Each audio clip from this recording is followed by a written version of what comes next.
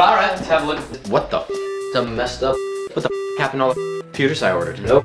Clue. That's on fire. That's all up. It's on fire over there. Why do you think I called Red Barn? You guys fix other people too? We can do that. Pull your head out of here, you simple and recognize quality when you see it. Got my computer from Red Barn. Customizable, dependable. Time is money. Yeah, we just wasted a whole lot of that.